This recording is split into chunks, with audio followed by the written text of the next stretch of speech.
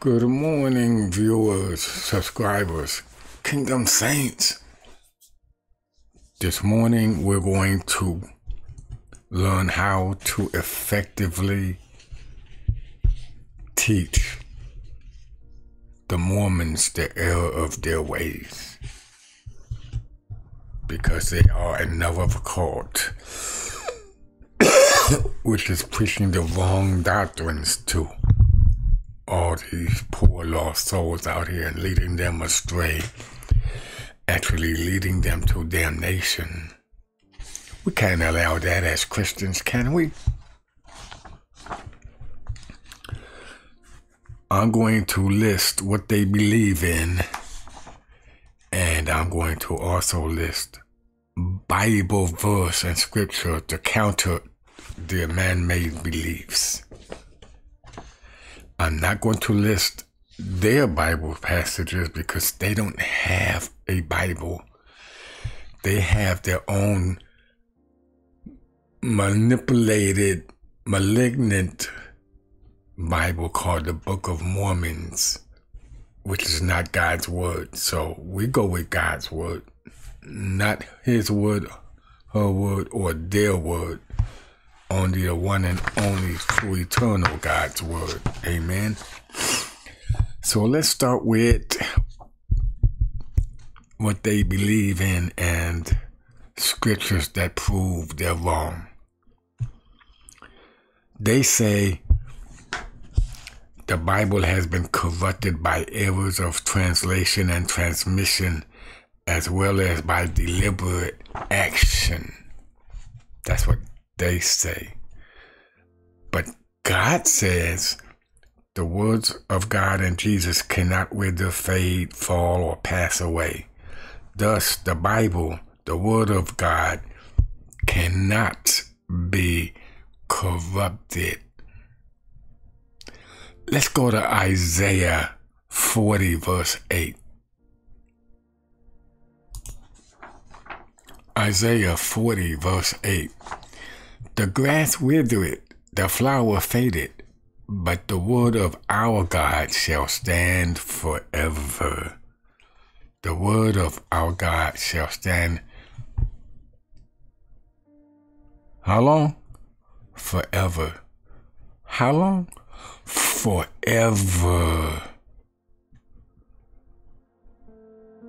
Let's go to Matthew 24 35.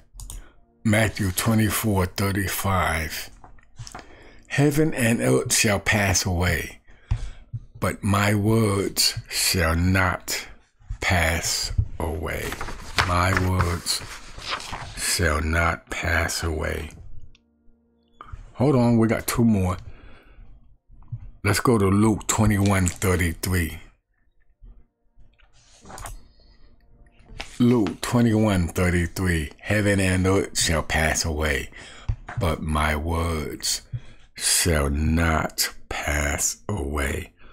Okay, the last one is 1 Peter 1 23 25. Let's go there, shall we? 1 Peter 1 23.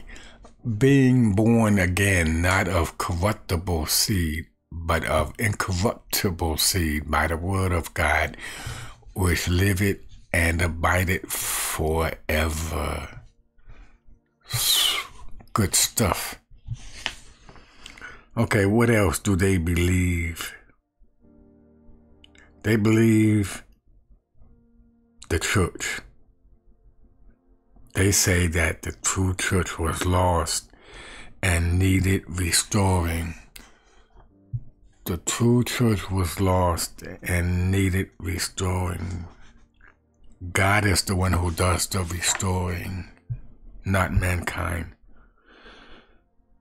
God says the true church is unshakable, indestructible, bringing glory to Christ in all ages. Woo! How could they mislook that? How could they? Let's go to Isaiah 51, 6, 8. Isaiah 51, 6. Lift up your eyes to the heaven and look upon the earth beneath. For the heavens shall vanish away like smoke, and the earth shall wax old like a garment, and they that dwell therein shall die in like manner. But my salvation shall be forever, and my righteousness shall not be abolished. Hearken unto me, ye that know righteousness, the people in whose heart is my law. Fear ye not the reproach of men, neither be ye afraid of their revilings. For the moth shall eat them up like a garment, and the worm shall eat them like wool. But my righteousness shall be forever, and my salvation from generation to generation. You're going to hear the gavel from the judge in a minute. There. Case closed. Eh?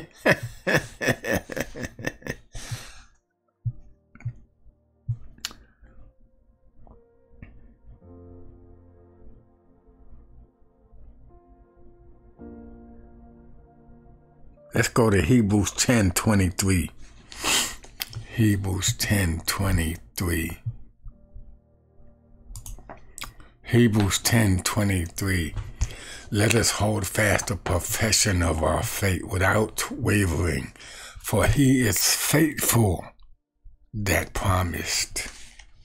He is faithful that promised since the covenant, since the promises in the Old Testament, the covenant.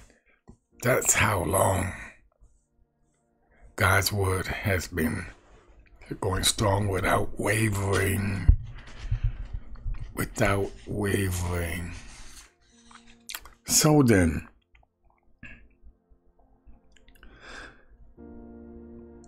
let's move on to the next one, shall we? The secret appearance. They say Jesus Christ and the Heavenly Father appeared in secret to Joseph, Joseph Smith in the woods. Really? Wow, I didn't see that in scriptures. I didn't even know there was an American in scriptures. No, I'm just playing. Joseph Smith is their founder, their leader. That's who they follow. Joseph Smith. Yes, a man. A man.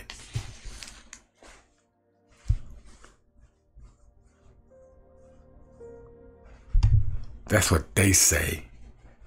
But God says, since his coming will be obvious to all, Jesus warned us not to believe those who claim to see him in secret. Let's go to Zechariah 14 4. Zechariah 14 4. And his feet shall stand in that day upon the Mount of Olives, which is before Jerusalem on the east. And the Mount of Olives shall cleave in the midst thereof towards the east and towards the west. And there shall be a very great valley, and half of the mountain shall remove toward the north, and half of it toward the south.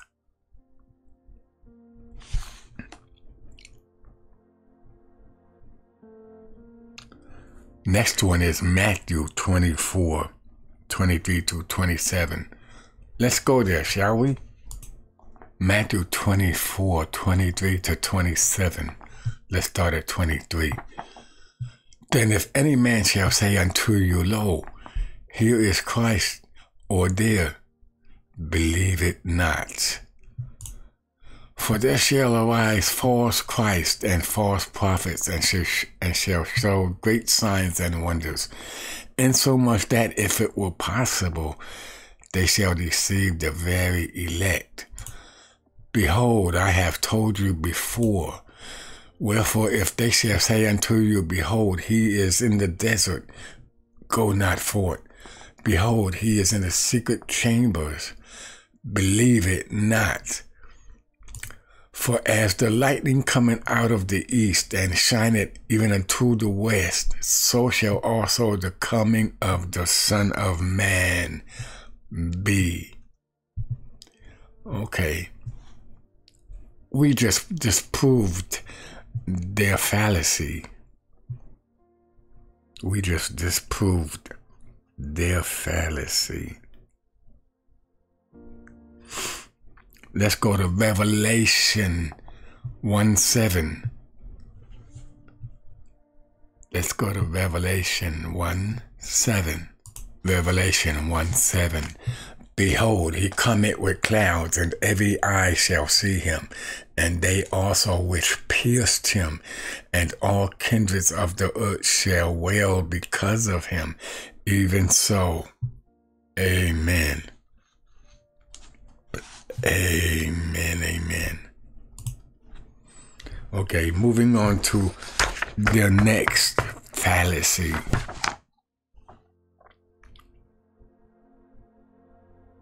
The nature of God.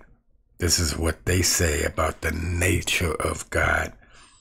God, our Heavenly Father, is an exalted man of flesh and bone. Hmm? What you talking about, Willis? Really?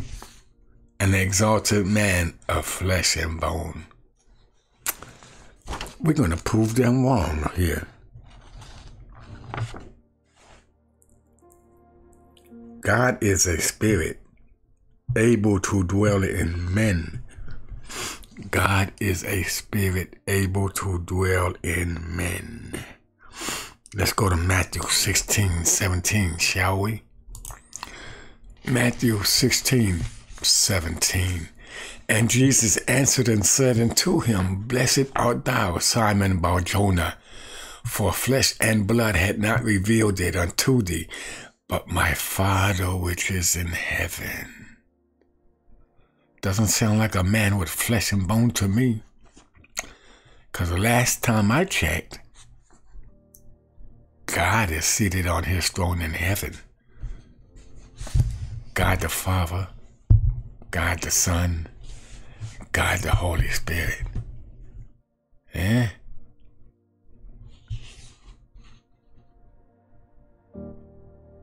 Let's go to John 4, verse 24. I hope you guys are taking notes. John 4, 24.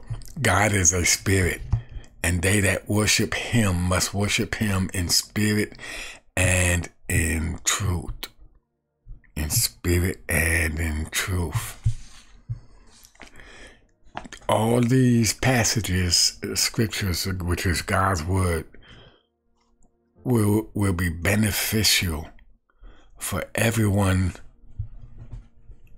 who deals with Mormons to disprove their theological beliefs and to bring them to the truth of Jesus and to convert them to Christianity. Amen.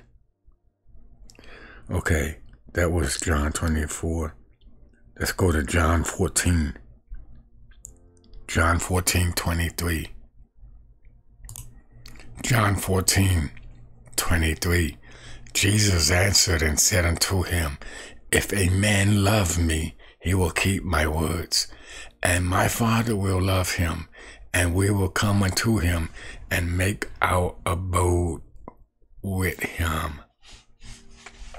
He's talking about his Father in heaven. So if the Mormons believe that God is man made of flesh, who is Jesus talking about here? Because it's only him and the disciples. Who was he? I don't think God was amongst the disciples. So we just proved that fallacy wrong. Jesus was a, amongst the disciples, the Son of God, but God the Father was seated on his throne in heaven, looking down at his Son, saying, This is my son in whom I am well pleased. Even the disciples heard that. At the transformation. Am I right about it? Okay, you Mormons. You're about to pack up your stuff into your camping bag and your backpack and hit the trail. Okay, what else do they believe? The nature between the Father and the Son. They say our Heavenly Father and Jesus Christ, the Son, are two distinct physical beings. Yes, they don't believe in the Trinity and the deity of God. They don't believe in none of that, just like the the Jehovah's Witnesses. So, we'll see what God says about this. God says the Father and the Son are distinct persons, yet are one God. We can find this in Isaiah 9, verse 6. Isaiah 9, verse 6. For unto us a child is born Unto us a son is given, and the government shall be upon his shoulder, and his name shall be called Wonderful, Counselor, the Mighty God, the Everlasting Father, the Prince of Peace. Well,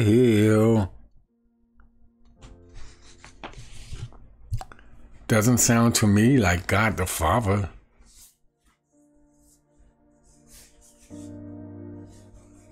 Doesn't sound to me like God the Father. Sounds to me like God the Son. Well, come on. Really, where do they get these, these ideas from? Oh, yeah, Joseph Smith. But where did he get these ideas from? Oh, yeah, the synagogue of Satan.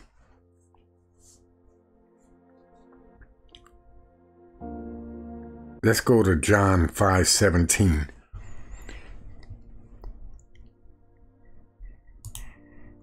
John 5:17. But Jesus answered them, My Father worketh hitherto, and I work.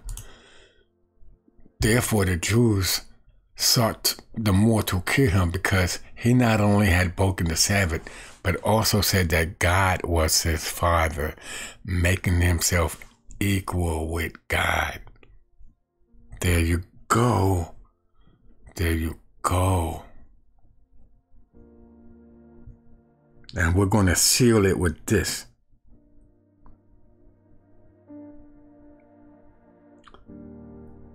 John 14, 9, 10, and 11. John 14, 9, 10, and 11.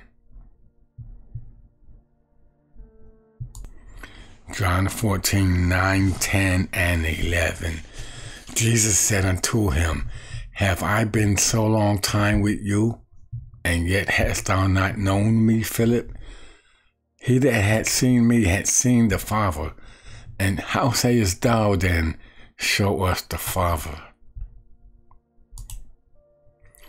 Believest thou that I am in the Father, and the Father in me? The words that I speak Unto you I speak not of myself, but the Father that dwelleth in me. He doeth the works. Believe me that I am the Father. I am in the Father and the Father in me. Or else believe me for the very works' sake. There you go. There you go. Case closed. Case closed.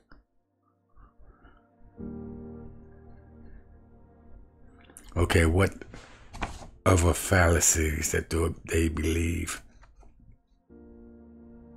The Holy Spirit.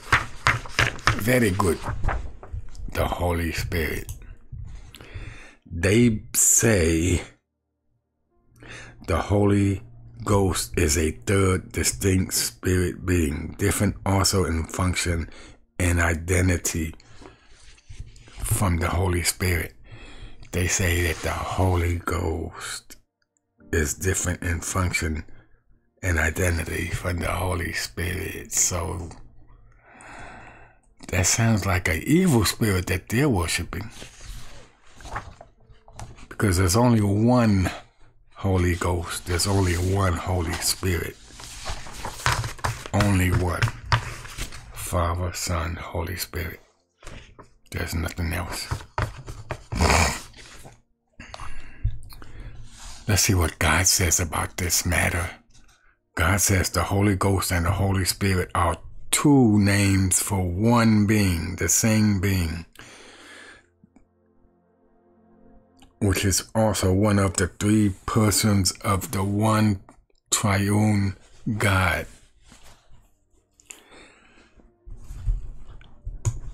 Let's go to Isaiah 6, 9, and 10. Isaiah 6, 9, and 10. And he said, Go and tell this people, hear indeed, but understand not, and see indeed, but perceive not. Make the heart of this people fat, and make their ears heavy, and shut their eyes lest they see with their eyes and hear with their ears and understand with their heart and convert and be healed.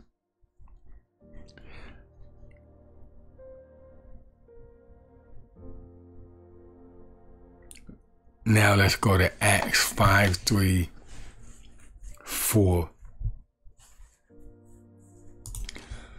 Acts 5 3 and 4.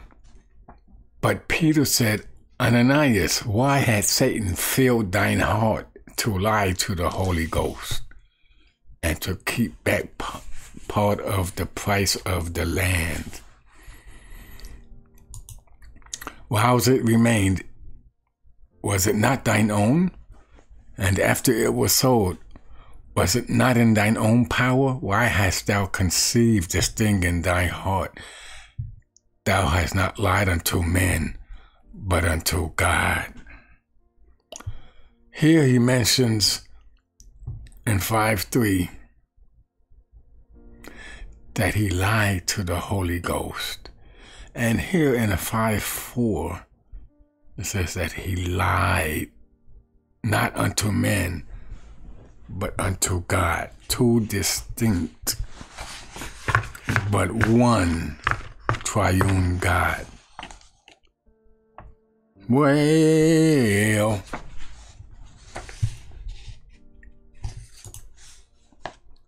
okay, what else is left for us to examine and dissect and break the atoms down and feed it to them for spiritual nutrition? Oh, yes, the nature of Christ. This is going to be very interesting pay attention. They say, we're talking about the nature of Christ. This is what they say. They say that Jesus is the little Son of God, conceived as we were, but of an immortal Father. Ooh, I am so glad that God has given us His true word to live on, and not these fallacies that these cults are mislead are following and misleading other people, which is why we must come to their rescue and bring them out of the darkness that they're in right now.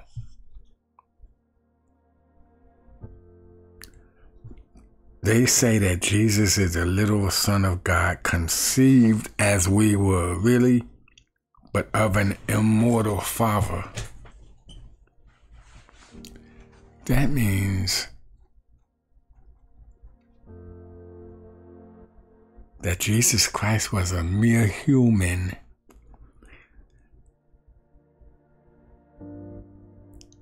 And God is a Father who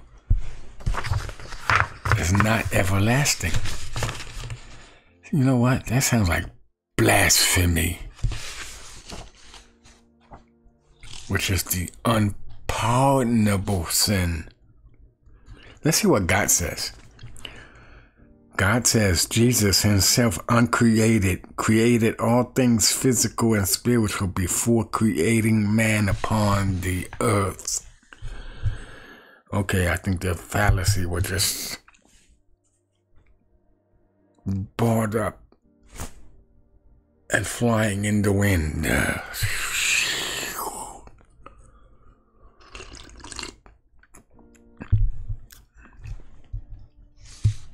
Let's go to Isaiah 45, verse 12, shall we? Isaiah 45, verse 12 I have made the earth and created man upon it. I, even my hands, have stretched out the heavens, and all their host have I commanded.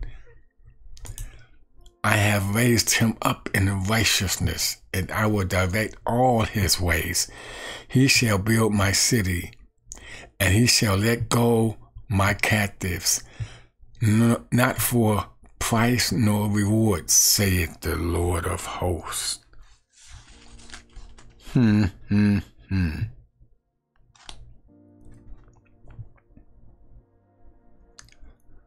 Let's go to John 1 verse 1 and 2. John 1 1 and 2. In the beginning was the Word, and the Word was with God, and the Word was God. The same was in the beginning with God. The same was in the beginning with God. The same is Jesus. So, their nature, their view of the nature of Christ is 100 times 100 times 100 times 1000 times 1000% wrong. See, this is what happens when man strays from God and creates these fallacies and calls it God's word. But it really is not God's word, and we're proving it right now. And this is these are the uh, scriptures that you need to to have in you. Even if you have to write it down and keep it in your back pocket. Every time you see a Mormon, but be nice about it. You know, just go over scriptures, talk about Jesus, ask them stuff like like this here, and then correct them rebuke them as well, but in a gentle, lovingly kind of way.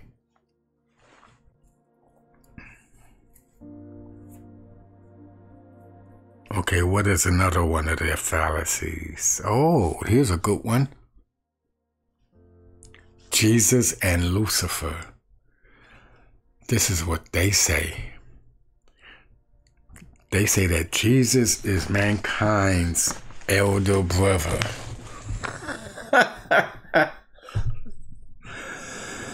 and he is the firstborn spirit child of our Heavenly Father.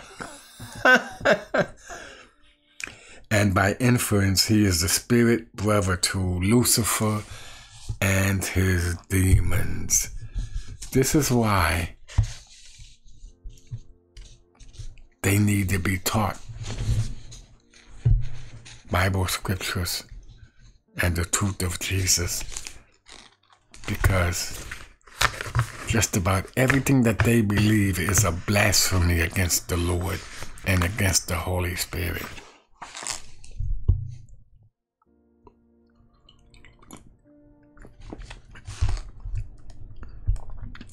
Let's see what God says about this matter. God does not change and has never been anything other than who he is now. He has never ever been a man. Let's go to Numbers 23:19, shall we? Numbers 23:19. God is not a man that he should lie.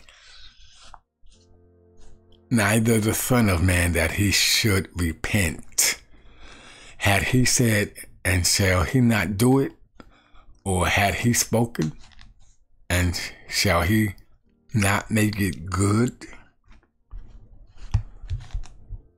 They're gonna they're gonna look at you like, give me more, give me more scriptures, because this is the truth, and the truth will set them free.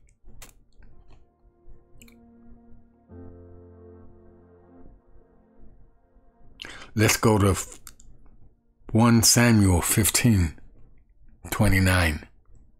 1 Samuel 15, 29. 1 Samuel 15, 29. And also the strength of Israel will not lie nor repent, for he is not a man that he should repent. So we're going to nail this down with one more nail. We're going to nail it down.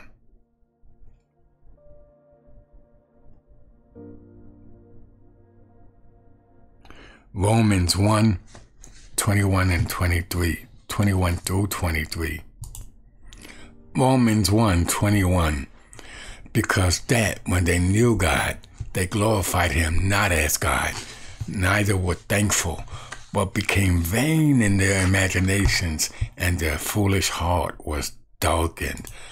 Professing themselves to be wise, they became fools and changed the glory of the uncorruptible God into an image made like to corruptible man and to birds and four footed beasts and creeping things. There. That just ended that. God has spoken. Let the church say amen. What is their next fallacy that they believe in? Salvation. This is what they say about salvation. One's personal salvation and exaltation is conditioned upon his works and obedience to the teachings of the Mormon Church, with the highest exaltation going to those who are most faithful. Mm, mm, mm. That is just a complete misdiagnosis of God's Word conditioned upon his works? For we are saved by grace through faith, not of our own works, so that no one may boast. This is what God says. Only those who trust in Christ will gain entrance into heaven but almost doesn't count here. All others will be cast into the lake of fire as a result of trusting in their own good works. You can find this in John 14 6. Jesus, John 14 6. Jesus said unto him, I am the way, the truth, and the life. No man cometh unto the Father but by me. And this is where we are saved by grace through faith, because Jesus is the grace. Jesus is the grace. Grace. God's riches at Christ's expense. God's riches at Christ's expense. That is grace. And He gives us the grace. He gives us His grace. Let's see there, boy. What's the next one there, there, boy? Galatians 2.16. Let's go there, shall we? Galatians 2.16 knowing that a man is not justified by the works of the law, but by the faith of Jesus Christ. Even we have believed in Jesus Christ, that we might be justified by the faith of Christ, and not by the works of the law. For by the works of the law shall no flesh be justified. And I want to add, Jesus said, I have not come to abolish the law, but to fulfill the law. So those who have faith in Jesus, he has already done everything at the cross for us because he is the lamb slain who overcame and he's coming back once again to reclaim the kingdom of heaven. Amen, amen. Let all the saints and the church say, Amen. Amen. Yeah.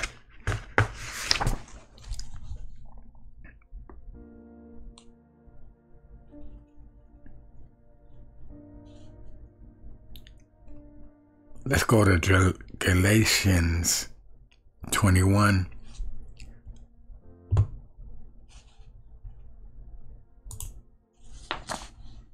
Galatians 2:21 I do not frustrate the grace of God for if righteousness come by the law then Christ is dead in vain. If righteousness we couldn't keep the law we could not keep the law this is why God was made manifest in the flesh to give us one last chance because we could not keep the Mosaic laws. Do you know that the Ten Commandments was only 10 of the commandments of the law? The total number of the law was 613. There is no way that the Israelites could keep the law. There's no way. That's why Jesus was a lamb slain, the perfect man on earth who set an example for all of us. The only man on earth who never ever sinned to give us his grace because it takes grace to do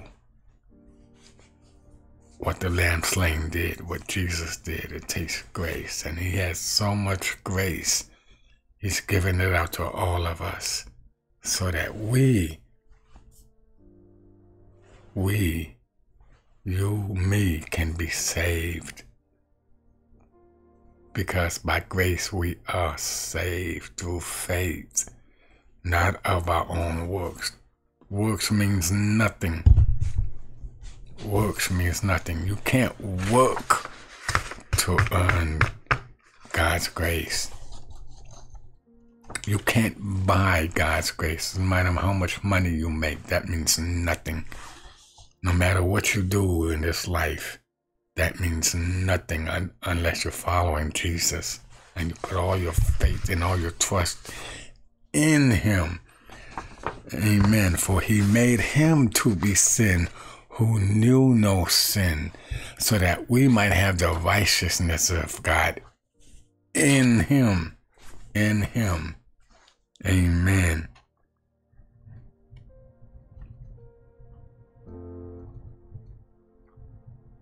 Let's go to Revelation 20, 4 through 6. Revelation 20, 4 through 6. And I saw thrones, and they and they sat upon them, and judgment was given unto them. And I saw the souls of them that were beheaded for the witness of Jesus and for the word of God, and which had not worshipped the beast, neither his image, neither had received his mark upon their foreheads or in their hands, and they lived and reigned with Christ a thousand years. But the rest of the dead lived not again until the thousand years were finished. This is the first resurrection. Blessed and holy is he that had part in the first resurrection. On such the second death had no power, but they shall be priests of God and of Christ, and shall reign with him a thousand years.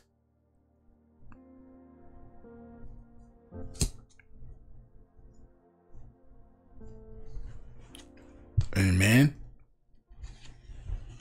So in this case, the highest exaltation goes to God. He gets all the glory. God does not share his glory with anyone. God does not share his glory with anyone. Amen.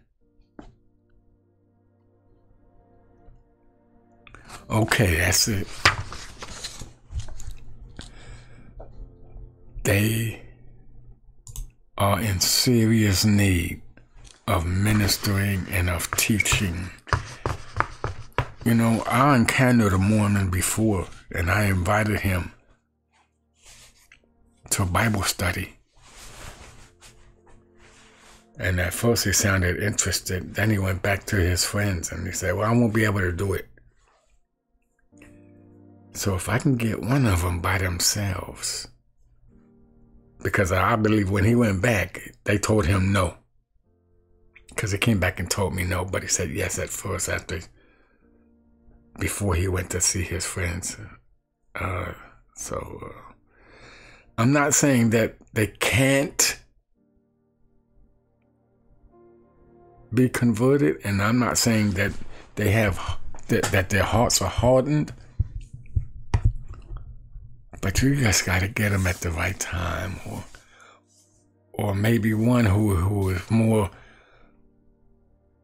more susceptible to the true word and wants to follow God, the real God, not their God or gods, but really wants to be converted to Christianity, wants it in his heart. You might get lucky there. But most of them travel in packs. I never seen one by himself. So anyway, let me uh, give you some tips here. Don't engage Mormons in verbal battle. Pray first, be led by the Holy Spirit. Then share the scriptures with them verse by verse. But in your heart, set apart Christ as Lord. Never forget who you are in Christ.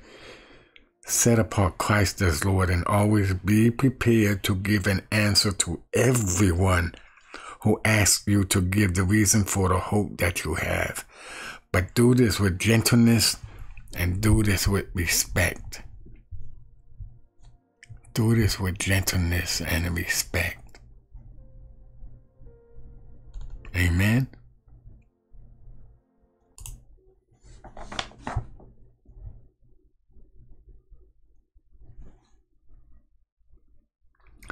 and define your faith with the word. All scripture is God breathed and is useful to, for teaching, rebuking, correcting, and training in righteousness. 2 Timothy 3 16.